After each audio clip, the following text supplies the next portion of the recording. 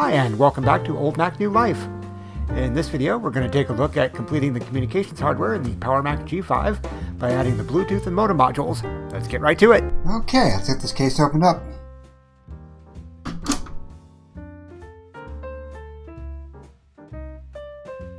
Found.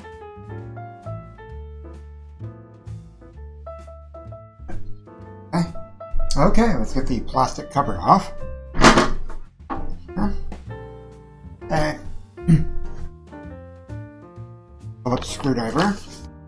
Okay, just to make some more room to work with, I'm going to remove this piece here. There's just a couple of um,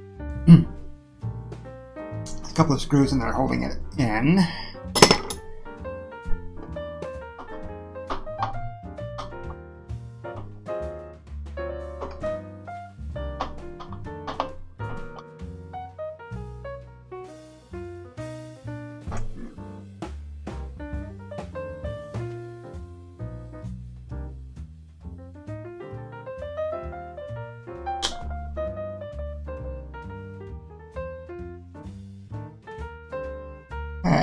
Well. That just pulls out. Okay, then we need to disconnect and here. And just see it. A couple of uh, wires it to the motherboard. Plug those. Okay. There you go. Good lord. okay, so we're gonna get the modem bit here. Okay, and right here is the place where the filter cable connects to. Yeah, it's pretty small. The cable itself is pretty small. And I think you are. It is plugged in, alright. And see the connector under here? That's gonna, gonna connect into this on the main board. Plug in. Plug it, there we go. Okay.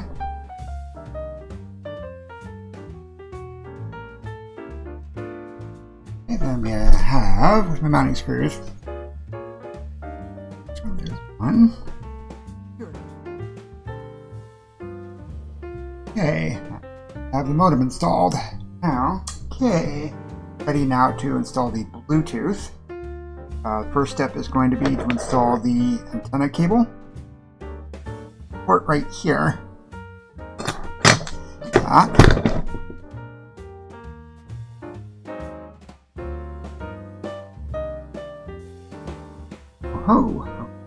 Got it.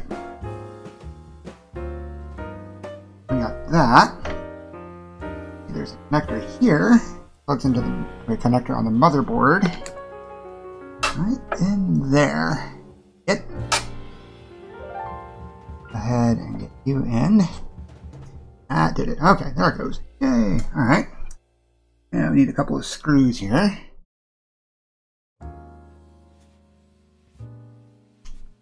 Tiny screws too. They're small.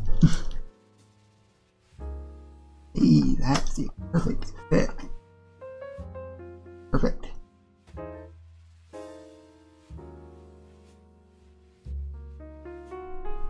Okay, with the modem and Bluetooth now installed, uh, it's time to close it back up and move on to the next step.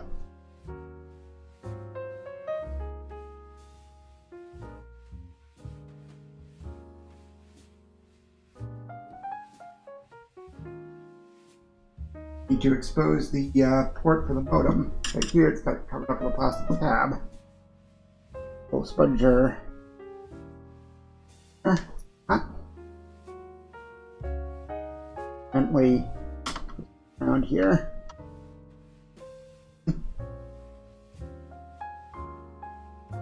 Up.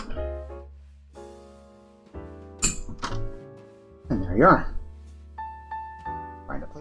Okay, ready to plug in the Bluetooth antenna, which just goes here in the port marked with the Bluetooth logo.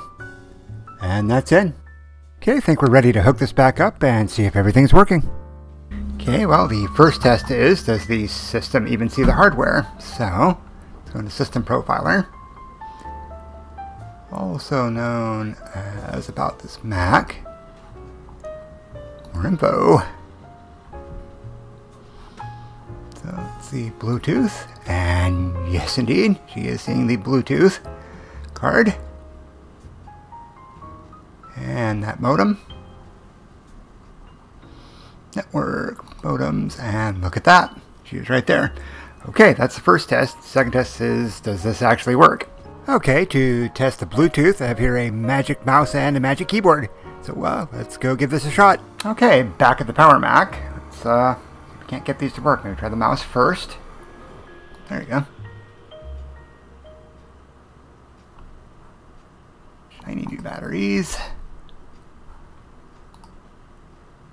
Okay. Powered on the mouse, see if I can find it.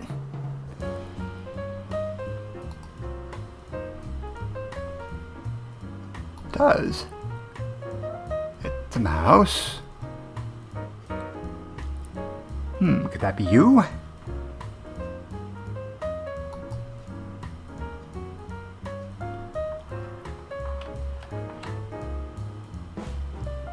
Found something. Okay, let's uh, try that off this. I think it just twitched when I moved the wire. Oh, there it goes. Okay, so got the Bluetooth mouse, Bluetooth mouse working.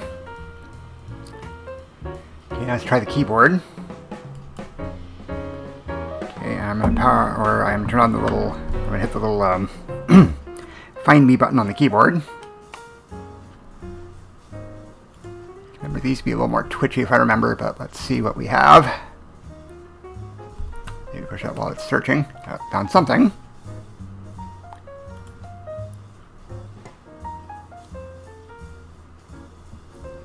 Here we go. Okay.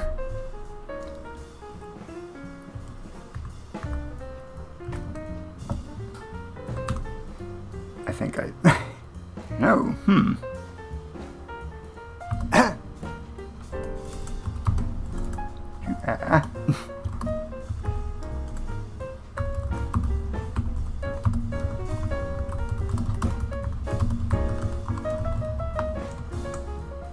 and done.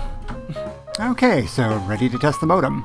Since I don't think accessing the internet via dial-up is even an option in my setup, I'm to try sending a fax. There's a catch. I did a little reading and it seems as though dial-up modems really wanted an analog phone signal. I'm on VoIP, which is digital, so there's no guarantee this will work. However, my VoIP does provide a fax mode, so it might. I've got my boss's permission to send the office a test fax, so let's see what happens.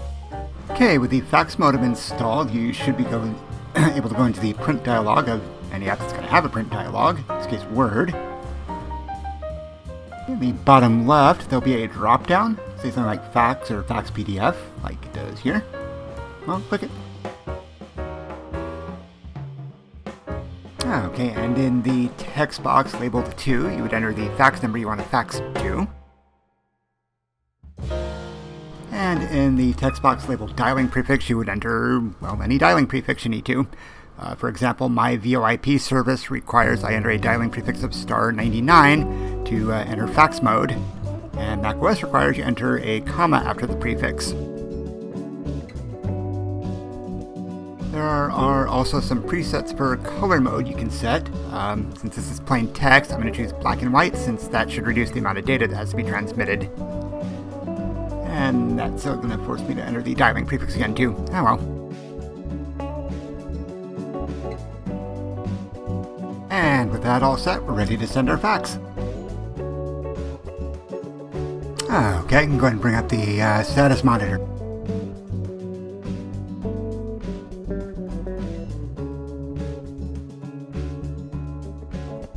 And it's reporting that the fax was successfully sent.